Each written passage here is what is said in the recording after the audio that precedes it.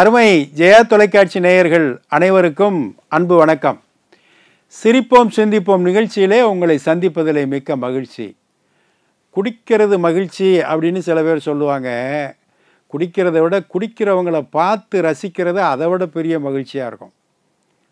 பல பேர் குடிச்சுவிட்டு ஸ்டெடியாக நடந்து போகிறது மாதிரியே தள்ளாடி தள்ளாடி நடந்து போவான்.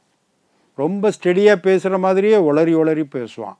இது பார்க்குறதுக்கு ரொம்ப இது வேடிக்கை பார்க்குறது இதுவும் அதனால தான் நீ குடிக்காத நேரத்தில் குடித்தவன் என்ன பாடுபடுத்துகிறானோ அதை பார்த்தாவது திருந்த மாட்டியா அப்படின்னு திருவள்ளுவர் கேட்குறார் சரி ஒரு பார்.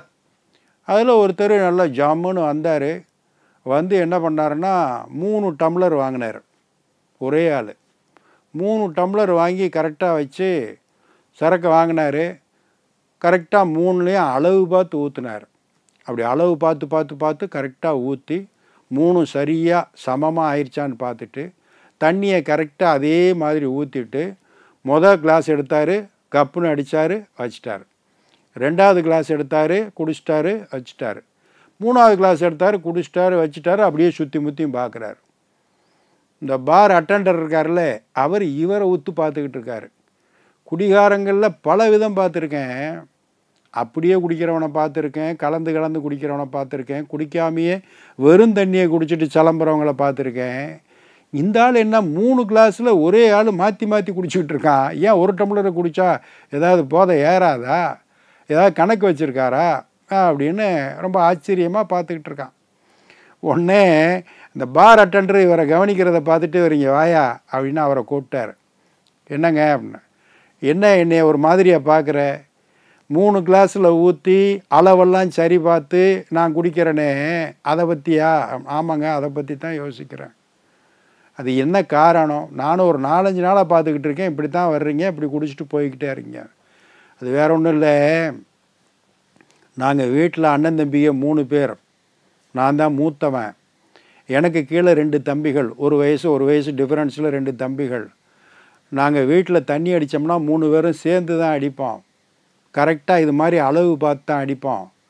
எங்களுக்கு சொந்த ஊர் வந்து காரைக்குடி. இப்போ வந்து நாங்கள் அது மாதிரி அடிச்சுக்கிட்டு இருந்தோம். ஒரு மூணு மாதத்துக்கு முன்னாடி ரெண்டு தம்பிகளும் பிரிஞ்சு போயிட்டாங்க.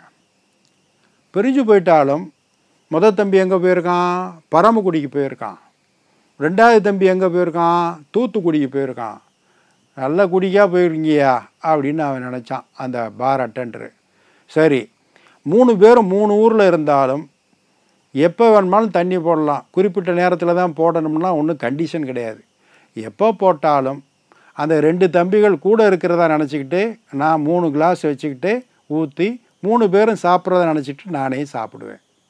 இதே மாதிரி தான் என் தம்பிகளும் பண்ணுவான். அந்தந்த ஊரில் மூணு மூணு கிளாஸ் வச்சு நாங்கள் மூணு பேரும் சாப்பிட்றோம். அப்படிங்க அப்பா பெரிய சினிமாவே எடுக்கலாம் போல் இருக்கையா அண்ணன் தம்பி பாசத்துக்கு இதை விட ஒரு சிறந்த உதாரணத்தை காட்டவே முடியாது போட்டிருக்கே அப்படின்னு இவர் பாராட்டுறார். அம்மா அம்மா எப்போவுமே கரெக்டாக இப்போ பாரு ரெண்டாவது ரவுண்டு போட போகிறேன் மூணு பேருக்கும் சரிசமமாக ரெண்டாவது ரவுண்டு போட்டு மூணு பேர் குடிக்கிறதையும் நானே குடிச்சிட்டு சந்தோஷமாக போவேன்.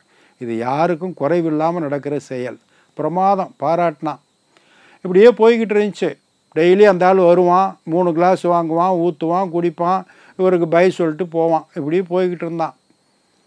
ஒரு ரெண்டு மூணு நாளாக சமீபத்தில் அவன் மூணு கிளாஸ் வாங்காமல் ரெண்டு கிளாஸை வாங்கி வச்சுக்கிட்டு அதில் ஊற்றுறான் குடிக்கிறான் அதில் ஊற்றுறான் குடிக்கிறான். மூணு கிளாஸுக்கு பதிலாக ரெண்டு கிளாஸில் ஊற்றி ஊற்றி குடிக்கிறான். ஒரு சோகமாக வந்து வந்து அந்த பார் அட்டெண்டர் வந்து வந்து பார்த்துட்டு போயிட்டான். அப்புறம் கூப்பிட்டான் இந்த ஆள் என்னையா ஒரு பா ஒரு மாதிரியாக என்னைய பார்க்குற? ஒரு சோகமாக என்னைய பார்க்குறியே? என்ன விவரம்?